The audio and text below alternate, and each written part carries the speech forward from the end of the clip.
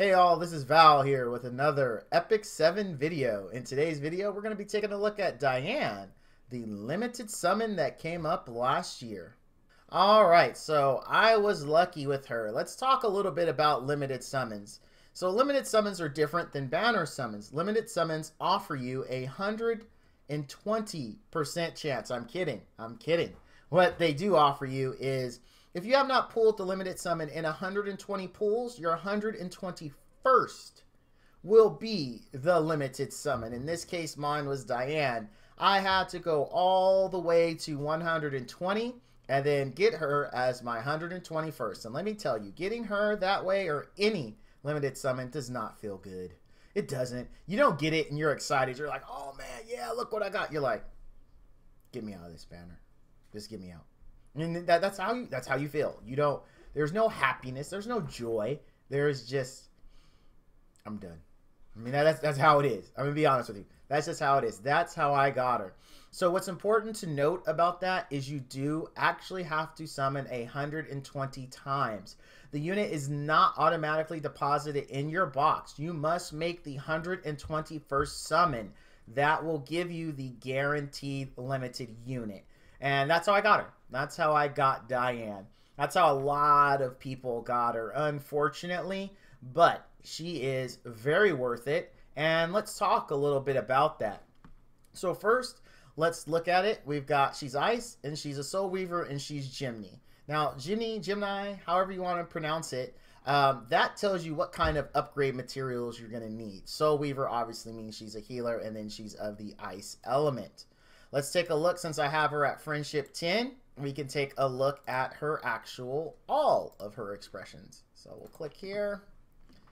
And there we go. There's normal. Upset actually looks upset. Sad does look sad. Laugh does actually look happy. I would, I would actually label that happy.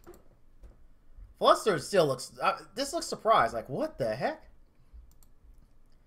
Special one looks sad. Special 2 looks like a combination of I can't tell if she's happy, like she's crying because she's happy, or is she just like surprised and thought it was funny at the end? I don't know. I think I'd have to go with like ah uh, normal or upset, like because I don't know. Special one, I mean I like that, but it looks sad. I don't want sad. And this one I, I can't determine which it is. So let's just go with normal. Let's just go with normal. All right. Then let's take a look at her skills. Light of Judgment.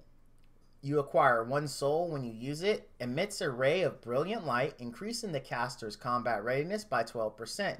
Effect doubles when caster is buffed. As you can see, I did pick up two here, so I have plus 2% to combat readiness, so this would be default 10%, and I also have 5% damage. Why this is good, this will help you cycle turns to make sure she is buffing as much as as humanly possible. I do want to go all the way down to plus 5 here so I can pick up the extra 3% combat readiness. And when she's buffed, which should be all the time, she will have 30% combat readiness right there, ensuring that she is always shielding and buffing you. Her skill 2, Blessing of the Goddess. You acquire two souls when you use it, and it's on a three turn cooldown. With the Blessing of the Goddess, covers all allies with a barrier for two turns before dispelling one debuff. Barrier strength increases proportional to the target's max health. Now you can see here I went down to the one turn cooldown and so it's lower to three turns. By de default, it's at four turns. Now, I do want to max skill this one. This barrier is OP to say the least. It absorbs a ton of damage and it cleanses. Now, what's important to note is see here how it says it applies the barrier first and then dispels. So if you have a blocks buffs, even if it's a blocks buffs that you could normally dispel, First, the buff is applied, then it's dispelled. So this would not get rid of block buff because of that order. Now, this is very, very, as I said, worth max skilling. It is incredible. It's good in PvE, PvP. It's just good everywhere. It's good in raid. Just, just max it. It's 100% worth it. It, it and I'm gonna when we get to artifact, there's additional benefits to this, and as well to the combat readiness in the first skill. So now let's take a look at the third skill, Saint's Prayer. Acquire four souls when you use this, and it has a four turn cooldown. A miracle of the goddess manifests, increasing attack and critical hit resistance of all allies for three turns before increasing the caster's combat readiness by 50%. You can soul burn this, which consumes 20 souls, and it decreases the skill cooldown by two turns. So basically, if you soul burn this, you can always have it up because that's going to lower it to two, and the shield lasts for three. So as soon as it expires, you can buff it again. Now, as you can see, I do have plus two souls because by default, you only get two souls when you use it. And then I, I have the minus one turn cooldown, which it's normally a five turn cooldown. This is 120 zillion percent worth max skilling. It is worth it. Do whatever you have to do to get this max skilled. The increased attack and the critical hit resistance is crucial in PvP. Um, now with other strippers and things there, this can even help you out more because if you don't want to use her barrier, uh, say you're using her on PV on arena offense, then you can still at least buff, uh, increase attack, and bust critical hit resistance. And the reason why I say that is because now we have Kise, and Kise will do 70% more damage if the unit is shielded. So Kise is you see her on uh, on arena defense, and it might be wise to either replace your Diene or if she's one of your stronger units to not even use uh, skill two. So let's talk about artifact and why I said it's important to get these skill cooldowns and combat readiness. So right now, because I don't have the one I want, which is Rod of Amaryllis, um, I am going with Magaraha's Tome. What this does is this gives me 24% combat readiness when using a skill that does not attack enemies. So think about this, right? So she is going to be buffing constantly because of this. She's also going to be buffed and she's going to get 24% as mine is built. Now 30% at max level at a plus 5 level, but she's going to get 30% combat readiness just for doing this, which is going to definitely get her to do her big buff. She's going to do her big buff. She's going to pick up 50% combat readiness. Because I'm using Magaraha's Tome, she's going to pick up another 24% combat readiness, and immediately already she goes directly into her buff. She's going to buff and then she's going to gain again another 24% combat readiness. Both of these are going to be on a cooldown. She's going to use this, and because she's buffed again, you're going to get another 24% or at max or at plus 5 skill, 30% combat readiness, which means she's going to be able to cast these again before they drop off. So it is very, very critical to pick up the minus one turn here, the minus one turn here, and then also to pick up the combat readiness. This will allow her to just continually cycle the cooldowns. Now, what's important about this is while this build is good, it could be maybe not the most optimal. The reason why is there is Rod of Amaryllis. Rod of Amaryllis, what that does is every time you use a non-attack skill, you'll heal. Now, because you're going to be using this so often, even taking away the 24% combat readiness here, you're still going to get 30% combat readiness on top of healing someone every time you cast one of these two abilities. If you do have Rod, it is again crucial that you pick up the minus turn cooldown to both of these abilities as soon as possible. What this allows you to do, basically, and some people might disagree, but you can put Angelica on the back burner. You can take out Destina if you run a dual healer comp like I do, and Diene can be your one-stop shop for all your healing needs.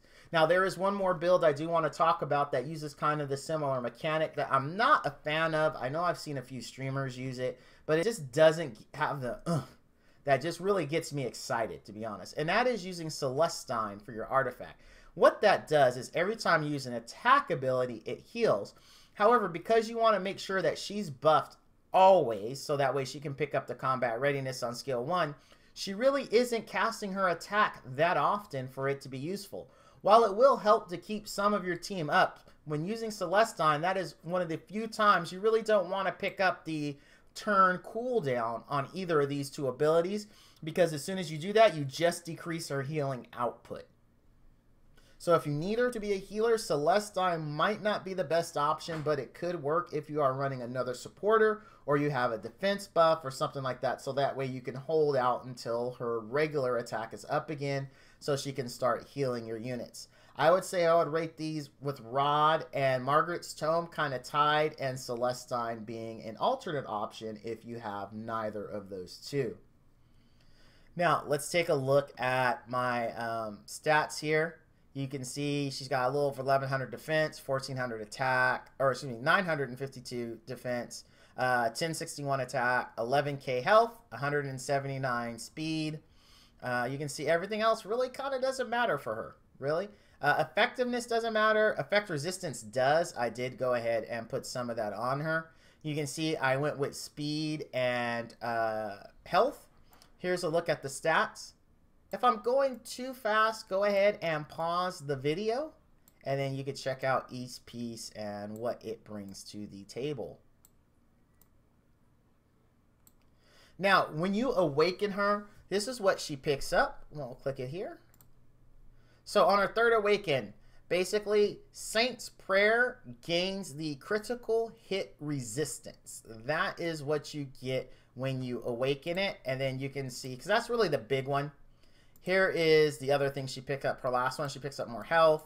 She picks up speed here. Effect resistance, which is always good for a Soul Weaver. Health, which is good. And then effect resistance again. I'm almost there. I just need uh, nine more nerves, which is really getting on my nerves. These things, I thought uh, the the one catalyst for uh, were pain. Uh, Blazing Souls, these are these nerves are a lot more painful. A lot, lot more painful. All right, and that's really it for her. I am a huge fan of her. Um, my goal is once I pick up Rod to actually drop Destina from my group, and I'm just to go with her and Requiem Roar. Requiem Roar's heals when it kills something is just phenomenal. It is absolutely phenomenal because most bosses have ads. So you can kill the ads typically a lot easier than you can kill the boss, thus giving popping her 15% heal. And in some cases, you do need to kill the ads anyway. So as you're doing that, you're getting constantly healed. As the boss summons more units, he's basically saying, hey, here's more things to help heal you and keep you alive so you can defeat me. So once I pick up Rod for her, I'm going to drop Destina from that group Maybe pick up something like, uh, and probably put Kise in, but I do need AoE attacks, so I might actually go with um, uh, Yuna or I'll go with Clarissa. I'm not sure what that team's going to look like because Di- uh, Destina's whole point in my group with her is just to make sure we have enough heals. But now with Requiem Roar, I'm pretty sure I could replace her now and it would be just as effective. But I want Rod there just to be sure just to be sure. I'm, I'm not sure how it's going to go yet, but uh, we'll find out once we're closer to it. Um, you can see that from these stats here, so I forgot to show this or talk about it. I went health, health, and speed. Speed's so important that I, I just had to go speed boots. There, there was no other option in my mind for her than to get speed boots. But if you want, you could go um, HP, HP, HP all the way down, and then just pick up speed in your substats. But she is going to be a little on the slower side, so you want to make sure you can take, if you bring her to Arena, you can uh, survive the onslaught of the team getting first move. If you can do that, then having her be a little slower isn't going to matter much. Because even if she goes first, having the crit resistance up, if their other team gets their whole skill lineup to go off, is going to help you and ensure that or help ensure that you will survive that onslaught. So that's why I said building her fast to me, there really is no other option. Now, the bad news. The bad news about this is so we have yet to see, even in Korea, we have yet to see limited summons be offered again. So we don't know if she's ever going to be back. We have no idea. She this could be the last time we ever see her. So if she doesn't, my condolences to all those who didn't start right when the game came out to pick her up. If she does, she is worth doing whatever you have to do to get your 120 summons to pick her up. She is that good. If it's you have to save, you know, and, and sacrifice newer banners and wait for her to come up again in a limited summon, you do it. Because she is that worth it. Unfortunately, I can't tell you if that's ever going to happen, though. I really don't know. I don't know if she's going to be back. I'm not sure if anyone does. I guess really only Smilegate and Creative know that answer for sure. Well, that's going to do it for this video. If you found it helpful or if you know of other builds you like to run Diene with, go ahead and leave it down in the comments below. Also, please don't forget to hit that like and subscribe button. Also, hit that notification button so you know when I have new videos available. As always, thank you for watching, and all you dudes and dudettes out there, stay frosty. Thank you.